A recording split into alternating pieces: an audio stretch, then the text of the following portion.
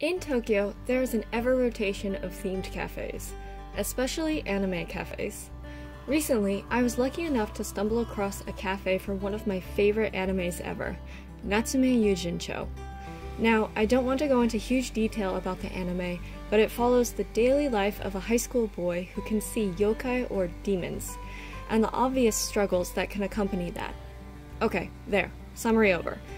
Anyways, it is a beloved anime in Japan, having six seasons out already and a very recognizable cast of characters.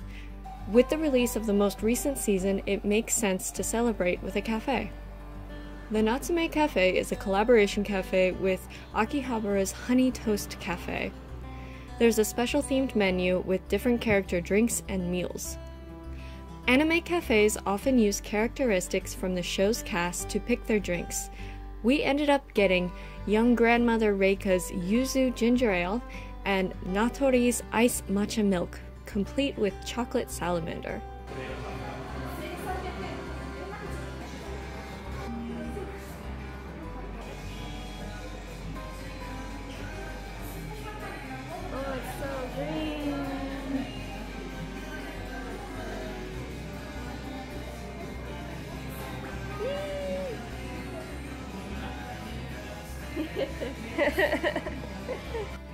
To go along with each item ordered, customers received a Nyanko Sensei button. There are 20 different kinds of buttons that you could randomly get. Also, this cafe was a bit different from the usual cafes. Instead of ordering at the table, we had to go up to the regular cafe counter to order. This didn't really matter to us, and there were actually some pretty cute decorations in the main area. After we got our drinks, next came the main courses. My friend got the Nyanko Sensei pancakes.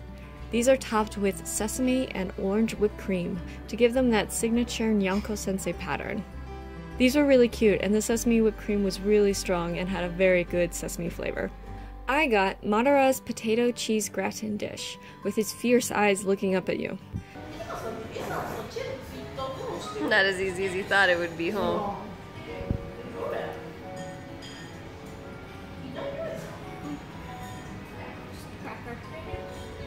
This was seriously delicious, and I would definitely recommend both of these dishes if you decide to come visit.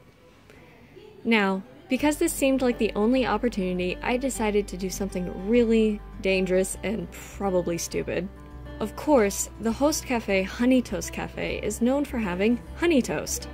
This is a Japanese sweet where a loaf of bread is toasted and topped with all kinds of sweet goodies.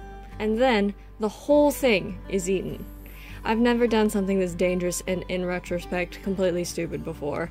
So, the Natsume Cafe's signature dessert was this Nyanko Sensei honey toast. It was topped with a stick of dango, ice cream, whipped cream, Nyanko's red bean bun, crackers, and lots and lots of honey. The inside of these things are not hollow, by the way. The loaves of bread are cut into cubes to help people eat them, and the whipped cream and honey soaks into these cracks.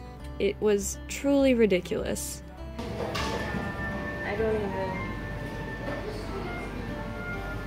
I've never had one of these before. Oh, it's cut a little bit.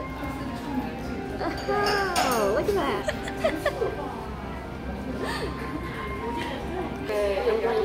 Nyanko Sensei now. covered in whipped. You monster. You monster. Alright, I'm just gonna use face. Hmm. How is it? It's got red bean paste inside. Ooh, yummy. Just a little, little bean paste puff thing. It's good. Yay! If you are in the Akihabara area and want to try out the Natsume Cafe, I do highly recommend. Despite the immediate carb coma and sugar stroke, I feel terrible. Just feel so sick. it was a really good experience. But seriously, be prepared if you want to try that honey toast.